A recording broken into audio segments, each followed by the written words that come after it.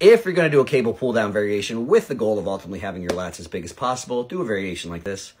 Do not do this variation.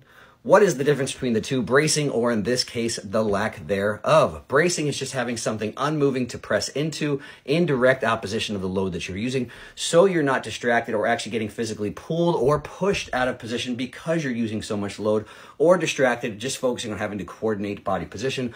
With something with proper bracing, you can just focus on having maximum challenge and output for the trained muscle from the load that you are using.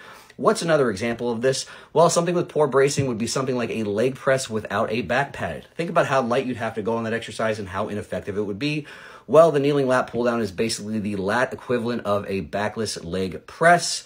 Things like bracing are just one of the principles I use when selecting different exercises. I also use things like profiles or alignment to try and determine what are going to be the best exercises for my goals.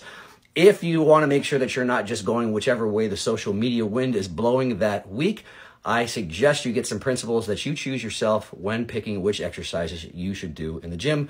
Questions about this, hit me down below.